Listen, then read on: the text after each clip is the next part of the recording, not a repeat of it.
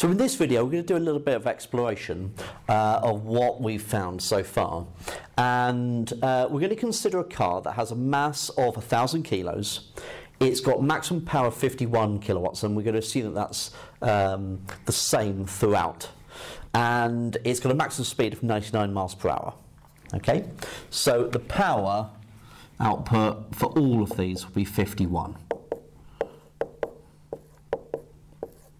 And we're going to look at what happens uh, for the car when it goes through these speeds. So 30 miles per hour, 40, 70, 90 and 110. And we're going to look at uh, the car's acceleration through these at these speeds. Now the first thing we're going to need to do is to convert those miles per hour into meters per second. Now, um, quick way of doing this is on a Casio ClassWiz, I'm going to use the conversion. I'm going to type in 30 first, then go shift number 8. Now what we need to do, because there's no direct conversion from miles per hour to meters per second, I'm going to have to first convert into kilometers, so miles into kilometers. Uh, so my result would be how many kilometers per hour 30 miles per hour is. And then I need to convert that into meters per second, which there is a button for. So I've got the 30. I'm going to press shift then 8 and I'm going to go to length first and number 7 will convert it from miles into kilometres. Now I'm going to leave that on the screen, I haven't pressed anything else. I'm now going to press shift and number 8 and that will convert that number uh, scrolling down to velocity and convert that into from kilometers per hour to meters per second. So it'll look quite complicated what your screen is, but if you just press equals, you should get 8,382 over 625. So 13.4112. And that means 30 miles per hour is 13.4112 meters per second.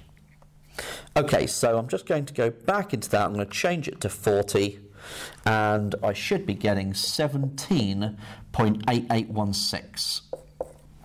Okay, going back into it and then pressing, changing it to 70. So that's 31.2928.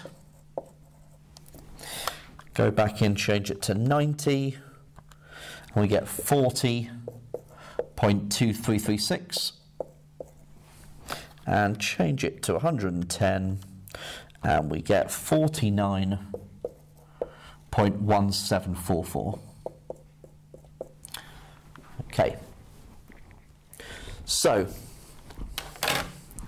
assuming in each of these cases that there are no resistance forces, um, we can work out the acceleration with the driving force. Now, the driving force, of course, uh, we have that power is equal to the driving force times the velocity. Okay, so we can work out the driving force by dividing the power in watts by the velocity. Okay, so first of all, I'm going to get 51,000 and I'm going to divide it by the velocity in meters per second, so 13.4112. Okay, so I get 3802.791696. Okay, I'm just going to write down the full calculator display. Uh, then 51,000 divided by 17.8816 and we have 2,852.093772. Okay, right, I'm going to change it now to 51,000 divided by 31.2928. And so that's 1,629.76787. Okay, change it to 51,000 divided by 40.2336. So 1,267.597232. And last one, 49.1744 and I get 1037.125008. Okay, so then uh, that's my only force that's going horizontal. And so then we've got F equals ma, Newton's second law. And that will be um, our driving force is equal to the mass times the acceleration. So the acceleration will be the driving force divided by the mass. Now the mass in this case is 1000. So the acceleration here will be 3.80 um, to 3 sig fig.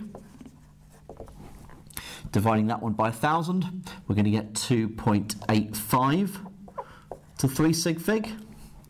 Then dividing that one by 1,000, 1.63 to 3 sig fig. Divide the next one by 1,000, 1.27 to 3 sig fig.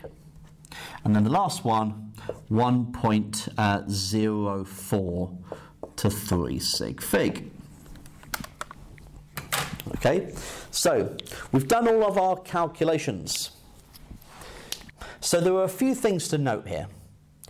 First thing is that this was the information I was given about the car. And I was told the maximum speed is 99 miles per hour. So how is it that I've gone past 99 miles per hour, but the car is still accelerating? How could that be the case? Well, consider where the problem was or what um, assumptions I have made to come to that value, to come to that calculation. Because in here, when I was doing F equals ma, I said we're going to ignore the resistance forces. And that is why we are getting this uh, strange result here. It's not quite fitting in with this maximum speed. So because we ignored air resistance and frictional forces, this isn't quite right. This isn't accurate. Okay, so that's the first thing. The second thing is that as um, the driving force, um, or sorry, as the, the speed increases, the acceleration is decreasing. So it's important to note that when we are trying to find the maximum speed of a car or a motorbike or lorry or something like that, then we are looking at the acceleration getting closer and closer and closer to zero. So the maximum speed should occur when the acceleration is zero. And the last thing that we should note from this is these problems involve the acceleration changing. And the consequence of that is that we have the constant acceleration formulae, the Suvat equations, which we often use to work with problems um, involving velocities and uh, distances and things like that. We can't really use them here. Okay, they rely on the acceleration being maintained at a constant rate. Okay, so uh, because of that, uh, the Suvat formulae uh, are out and that means we're going to have to rely on energy methods. So using the work energy principle in order to calculate velocities as we need it. Okay, so there are a few things here to come out of this exploration um, for you to consider. So thinking about um, the modelling assumptions that we use, uh, the lack of resistance forces, thinking about that um, the acceleration goes to zero when we're at the maximum speed and that the acceleration is changing. So uh, the Suvat formula are out and the energy methods are in.